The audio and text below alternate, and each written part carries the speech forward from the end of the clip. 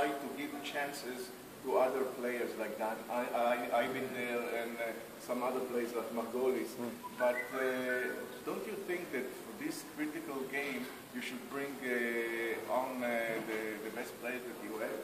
Oh, I think in the, on the pitch they were players with enough quality, you know, and enough experience to, to beat uh, the opposition we had in front. In this case, uh, uh, no, I, I wouldn't have uh, changed uh, before 11 started. Now, for sure, after seeing the performance of the players, probably I will have. Uh, I'm asking Maybe. you this question because I uh, hear all these noises from uh, Maccabi's fans that say, oh, what, what uh, 11 we put uh, today, this, uh, this game. Look, but uh, the players are in the squad to play, you know, and especially players.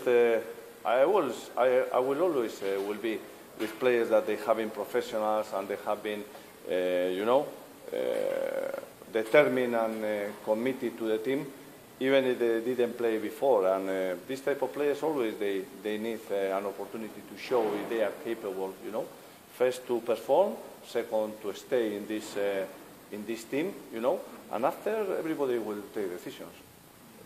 Thank you. Thank you.